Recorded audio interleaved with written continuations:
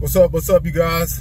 It is um, a week before Thanksgiving, and I want to put some information out for you guys, especially going into the holiday season, that you may find useful, especially if you struggle with your holiday eating habits, lifestyle habits in general.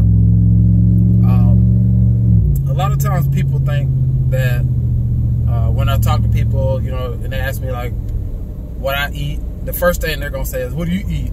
Uh, carrots and broccoli and chicken, and um, you know, because I'm I'm a trainer and I look like a trainer. I look like I'm in shape, so everybody thinks I'm Superman because I kind of look like Superman. I'm just playing. I'm just playing. I'm just playing. But uh, people think that I don't eat anything but carrots and kale and stuff all day. But if you know me, or if you've been around me when I'm eating, you know that couldn't be farther from the truth. I eat everything. I eat chitlins, I eat lasagna, I eat chicken wings, steak, beef ribs, uh, peach cobbler, pumpkin, not pumpkin pie, I eat sweet potato pie, I eat cakes, shakes, anything baked cookies, anything. I eat everything. I see food, I eat it. So people think that because, uh, especially trainers, that and people and some people try to put on like that's all they eat all the time. I've never eaten uh, fast food in my life, and uh, you know I don't I only eat chicken, 17 chicken breasts a day, and you know I never eat any sugar or anything. Why is that kind of, kind of dude? You know what I'm saying? I eat all the food. However, there's a way, there's a method to the madness to keep it from becoming a bad lifestyle or to keep it from just piling up into poor health. You know what I'm saying? So you have to have a game plan when it comes to eating. What you're eating and what's going into your body has got to be important all the time. Even when you're binge eating, you have got to have a plan for after the binge eating and even leading up to the binge eating. If you're gonna if you're gonna have a cheat meal or whatever it is, you have to have a plan that entire time. Like if you the, the more what you eat is out of mind, the more damage you're gonna be doing. It's kind of like people think that they're getting old and most of what you feel in terms of your body getting older, it's just poor lifestyle habits. You know how people take an old car and they sit out in the woods and then it rusts and decays and turns all, all you know, gets all kind of holes in it, it's all dirty and nasty. That's because you left it out in the woods to rot. It's the same thing with your body. If you just let it rot, that's exactly what it's going to do. So if you're not exercising, your body's, your bones are going to be weak muscles and tendons are going to be weak and you're going to deteriorate quickly. Likewise, all it takes is like one bad tank of gas to have your engine sputtering all over the place or to even destroy your engine in your car. One bad tank of gas or some wrong fluid in the wrong place can destroy your car immediately.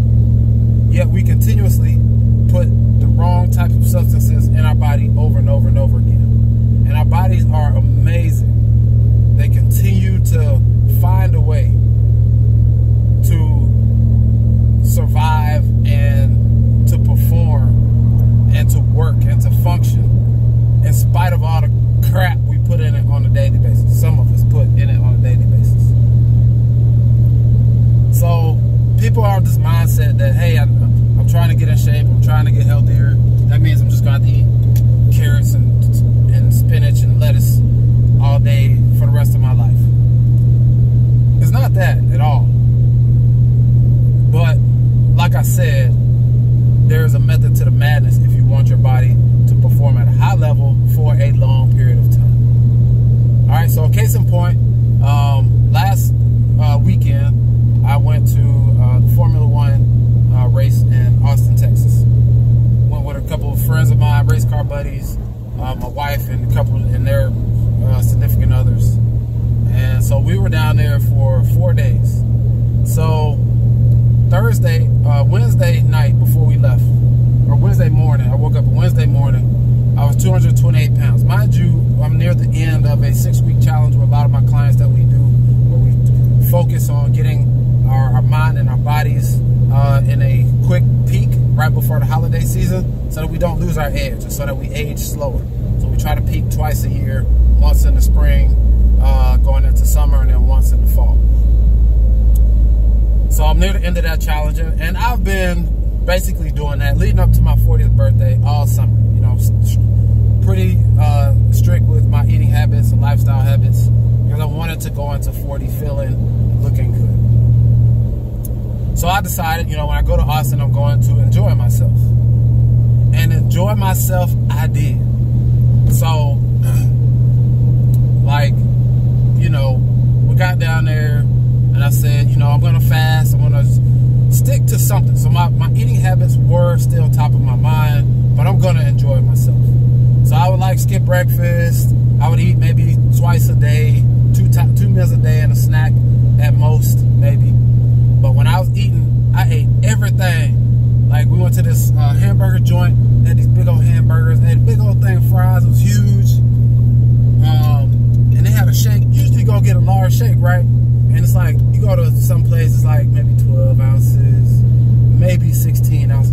This thing was like 32 ounce shake. You know, I had to eat all of it. I ate all of it. And then we went to this barbecue restaurant. Texas, You're in Texas, man, you gotta have some barbecue, right? Went to this barbecue, this barbecue. They had this beef rib, man. It looked like Fred Flintstone. You know, they eat dinosaur bones.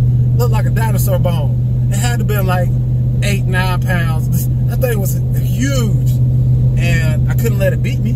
Like, I ain't come all the way down here for you to give me no one beef rib. Ain't no one beef rib gonna beat me. So I, eat the, I had to eat the whole thing. And mind you, my homeboys, uh, about to, all both of them are over 200 pounds. Neither one of them could finish it. I killed that thing. I killed the whole thing. And I had some baked beans. I had some potato salad, some coleslaw. I had like three. And I, you know, I don't drink a lot of soda. I don't drink any sugary drinks like usually during the week. But they had these different color sodas, and I love bright color sodas. So, I, so they had like red, they had orange, they had blue, and they had a clear one. So I had a red, an orange, and a blue one because I was just gonna taste all the sodas. So had that. We went to the steakhouse, and this is just a few of the things we ate while we was down there. I had some ice cream sandwiches that I took back to the house. We rented a house. Uh, had some of those. I was eating late. We had some chicken wings. And every place we went, we ordered all the appetizers. I ate most of all of those. And then we went to this uh, this nice steakhouse, and uh, we got these fifty dollars steaks. My wife didn't eat all her steak, so we went the last night, Sunday night. We went to the steakhouse, got these steaks. So I ate I ate most of the appetizers and my steak and whatever else I had, potatoes and Caesar salad. That's usually what I get when I get a steak. My wife only ate half her steak. Well, I wasn't about to let no $50 steak go to waste. Well, now it's a $25 steak because she ate half of it. I wasn't about to let no $25 worth of steak go to waste. So early Monday morning, I was up at 8 o'clock before we left to go to the airport, eating steak. Make sure that thing go to waste. So anyways, I got back. I left. I was 228 the night before we left. Got back um, Monday night. I was 242 two 242 pounds uh, Monday uh, Monday night when we got back. So you can do the math. Just do the math about how much weight I gained while we was. And so, um, and I worked out while we were down there. So we went to the gym. I got a temporary membership at LA Fitness. Remember, I got kicked out of the gym a long time ago. I haven't been back to LA Fitness since then, but I got a week membership uh, LA Fitness. I guess they erased that from the records after like six months or whatever. But it's been a couple years since I've been there. And then the one that was uh, maybe Friday morning, and then Saturday morning or Sunday morning. I don't remember the days.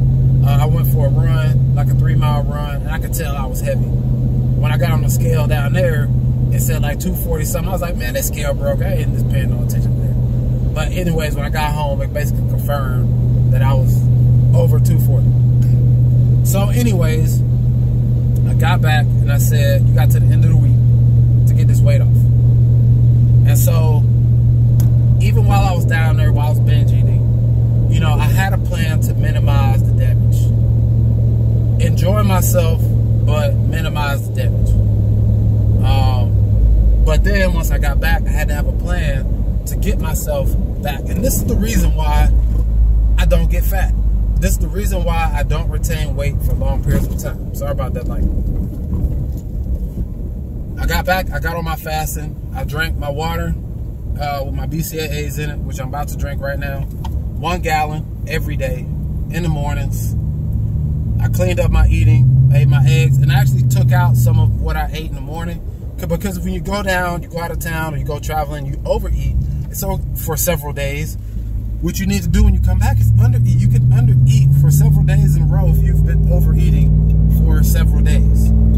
So I cut my calories back, even though I'm still eating, you know, four eggs mixed with egg whites in the morning with 100 grams, 100 to 150 grams of egg whites every morning. Two Power Crunch bars, and usually I eat like three to four slices of toast.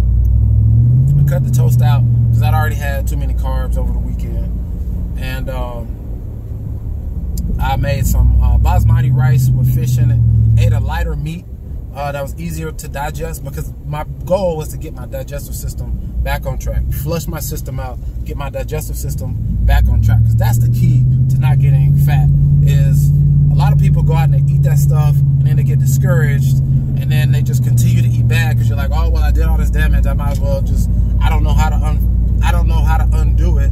So I'm just to give up, you know, and throw in the towel. And frankly, that's a defeatist mindset. You got to get back on the wagon and undo what you did as quickly as possible. So went through eating throughout the week. Did not eat out at all. Um, now I did enjoy a couple Klondike bars uh, through the week, uh, but that was pretty much it. And by the end of last week, I was at 227. So a net loss of a pound from the prior week. And you got to realize that most of the weight that you're going to gain on vacation is constipation, water weight, extra sodium. You know, you're holding weight, water in your skin, your intestines, and your internal organs. You're just holding water everywhere. So you got to get that water out. You got to get the constipation out of your system. So we're eating cheese like every day, all kinds of stuff. You know what I'm saying? All that milk. I'm lactose intolerant. So you got to get your digestive system back on track. And it's really as simple as that. You got to undo what you did so that you can move on and keep it from building up. Instead of just being like, oh, well, you know, and just continuing to uh, practice those bad habits, those bad lifestyle habits. You got to get back on the wagon as quick as possible.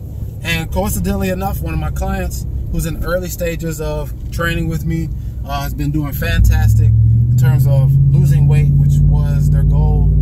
Went out of town, same thing. Went out of town, gained only a couple of pounds, uh, came back, got on their uh, water program, eating right program, cutting back on carbs, and by the end of the week, had a net loss of two pounds. So it can be done, but you got to want to do it, and it's got to be important.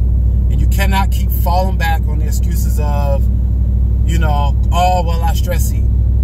Everybody's stressed, man. But your health has got to be important, more important than whatever your feelings are at the time. You feel bad, you're stressed, stuff is hard, life is tough. Get over it. Get yourself back on the wagon. Don't just eat yourself to death every time you get stressed out about something. That is an excuse. And not one for you to use over and over again and completely exploit it in order to do damage to your body. Okay, you're stressed out one day. Okay, go have a bad meal. But that doesn't mean you just continue to just eat bad over and over again and buy all the snacks and just go off the hinges. That's not going to fix anything. It's only going to make you feel worse. So now you're going to be more stressed and then you're going to cause more stress is going to cause you to more to do more stressing. It's just reciprocal self-inflicted damage on your body. And it's, a, it's, it's a, a fallback excuse that people use as a defense mechanism for accountability. Somebody says, okay, it's time for you to be accountable. and you say, "Oh, well, I stress eat," and then you go on some some stupid article that you read that says, "Oh, well, you know, things call you stress eat." That's a, that's a modern day excuse that people are using to practice bad habits. Okay, I could get it if you eat bad for a day or something, but a week, two weeks, you're just gonna keep on doing it? No, that's not sufficient. That is not acceptable. That's why you have accountability partners. That's why you have trainers, to people to keep you on track. Stop using it as an excuse to destroy yourself, to eat yourself to death, because it's not sufficient. Somebody got to keep it and tell it like it is. Stop calling everybody. I'm not going to call you. I'm going to tell you like it is. All right? So, anyways, that's our episode for today. All right? It's the holiday season. There's going to be holiday parties and eating with family. It's going to be late nights. You got to also eliminate that when you get back from traveling. You got to eliminate those late night eatings. Eat early. Get done eating as early as possible. Close that eating window. Eat your food within a window. Four hours, six hours, eight hours. You know what I'm saying? Condense that eating. Don't just eat all day. Have a plan as far as what you're going to eat for the day. All right? It's as simple as trying. Is when you don't try, that you're doing damage. All right? That's all it takes, y'all. I'll try to give you the information that you need to be successful and to be healthy. But I can't put in the effort for you. I can give you the information, but you're going to have to put in the effort for yourself. All right, guys. Hope this information is helpful. Stay tuned to the channel. We'll keep pumping out all the tools that you'll need to get and stay in shape. All right, guys. I'll at y'all in the next video. Peace out.